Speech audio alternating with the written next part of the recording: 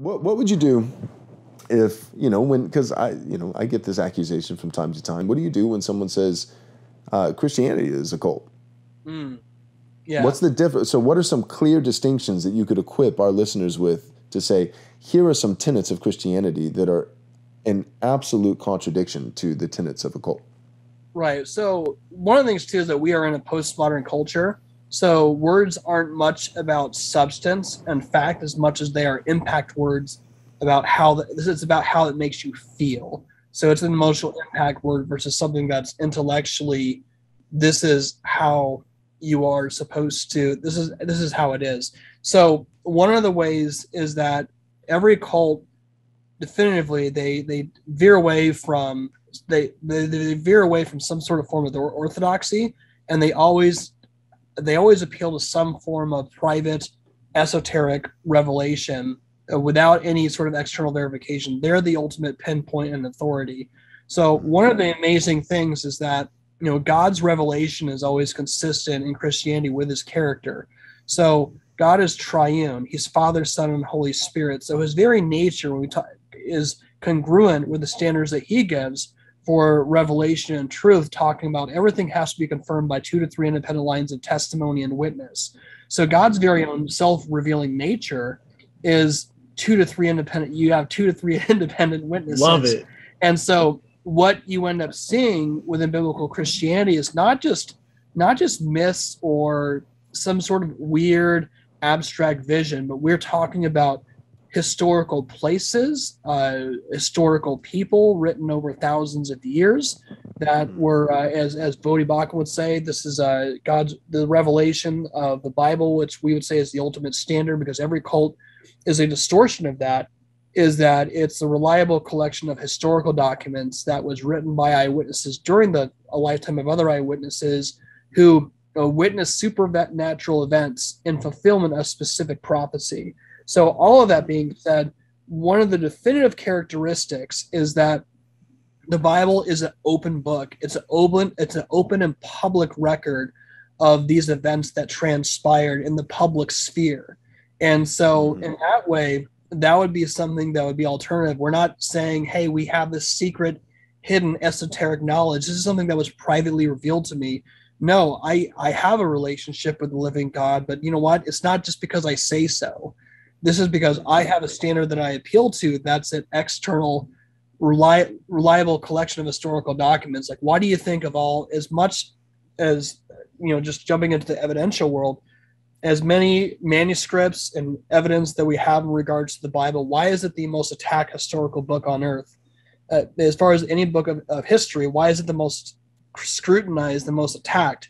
How come no one holds the writings of Plato or Socrates to the same standard of scrutiny that they do to the Bible, even though we have something with it for century.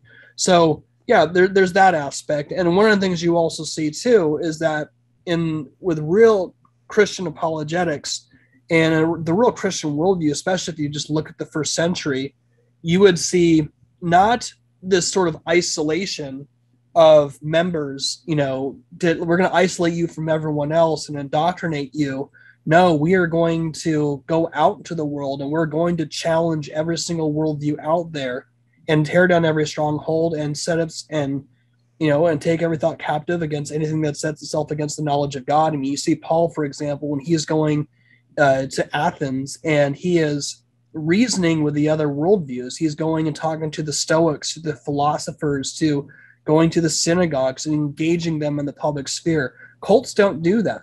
They try and isolate. They try and appeal towards secret, hidden, esoteric knowledge, and they don't allow they don't allow questioning. They don't allow that. And real, honestly, like real Christianity, like it, it allows for that. Like bring bring the biggest thoughts. Like wrestle with this. This is right. something that would be that would be a that would be a big aspect as well too. And so That's I think the, yeah, and I think and ultimately like the biggest challenge that I honestly, at some point, we are going to dedicate an episode to this because when you have someone who's atheist or agnostic, and we get this, and I, I don't know, sometimes we sort of make fun of it, but I want to do more than that just because we are we are limited for time. But we consistently get reviews on iTunes called "We're Another Cult" talking about cults, and it's like, wow, this is so stunningly original. This is the tw- this is the you know, it gets kind of old after the 50th time or however many times we've gotten reviews like that. But the reality is is that for someone who is who is an atheist or a naturalist, what how do you even give an accounting for what is or isn't a cult? What exactly is wrong with my brain fizzing a certain level of knowledge, which is just my perception of the world in which I was born, and once and I'm blind, pitiless indifference, and and yeah, like how how can you how can you give an accounting for like what what's the ethic? What ethic am I violating, or what ethic was Jim Jones violating when he's his brain was fizzing the way that it was and got 915 other people's brains to fizz and take down this other fizz called potassium cyanide and killed 915 people in Jonestown, Guyana. Now, I have a basis as a Christian to say, yes, those people were image bearers of God.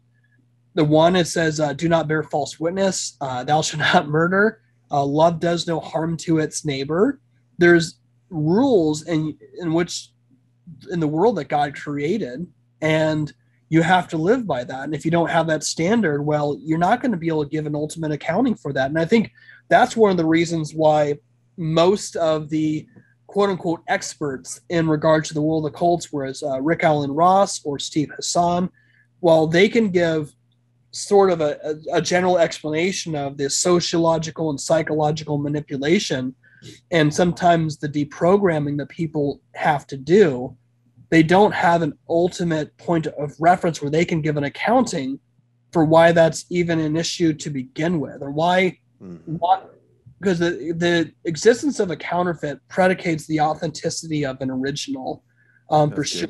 So those are just some of my initial thoughts, but ultimately, I would argue that the Christian worldview is a public record versus a yeah. private revelation, which is the difference between every single cult, occultic leader, and then also to argue the impossibility of the contrary. There's no other worldview that can give a fully holistic explanation for the world of the cults and the counter and, and the counterfeits. As Walter Martin would say, the existence of a counterfeit predicates the authenticity of an original. And no other secularist who approaches that has the ability to do that because they're not giving uh, they're not paying homage to the ultimate authority, which is uh, the King of Kings and Lord of Lords. Mm. Thanks for watching this video. We hope you enjoyed it. If you did enjoy it, uh, we hope that you'll take a moment and subscribe to our YouTube channel so that you can watch more content like this. Also, take a moment and give this video a like so that it can reach more people. And take a moment and click on the bell so that you'll be notified whenever we come out with new content. Thanks so much. God bless.